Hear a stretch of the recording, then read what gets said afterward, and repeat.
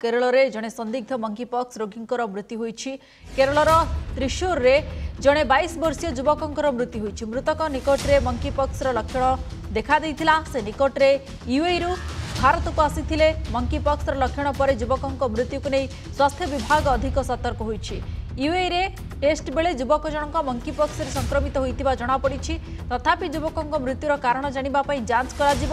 ଯୁବକ ଜଣକ ଅନ୍ୟ କୌଣସି ରୋଗରେ ଆକ୍ରାନ୍ତ ଅ, ନଥିଲେ ବିଶେଷଜ୍ଞ ଟିମ୍ ଯାଞ୍ଚ କରିବା ଆରମ୍ଭ କରିବା ସହିତ ମୃତ୍ୟୁର କାରଣ ଖୋଜୁଛନ୍ତି। ଡବ୍ଲ୍ୟୁଏଚ୍ଓ ଅନୁସାରେ ମଙ୍କିପକ୍ସର ଲକ୍ଷଣ ଛଅରୁ ତେର ଦିନ ମଧ୍ୟରେ ଦେଖାଦେଇଥାଏ ତେବେ କିଛି ମାମଲାରେ ପାଞ୍ଚରୁ ଏକୋଇଶ ଦିନର ସମୟ ମଧ୍ୟ ଲାଗିଥାଏ। ସଂକ୍ରମିତ ହେବା ପରବର୍ତ୍ତୀ ପାଞ୍ଚ ଦିନ ଜ୍ୱର ମୁଣ୍ଡବ୍ୟଥା ହାଲିଆ ଲାଗିବା ଦେହରେ ଯନ୍ତ୍ରଣା ହୋଇଥାଏ। ଭାରତ ସହ ବିଶ୍ୱର ଅଠସ୍ତରୀ ଦେଶକୁ ମଙ୍କିପକ୍ସ ବ୍ୟାପି ସାରିଛି।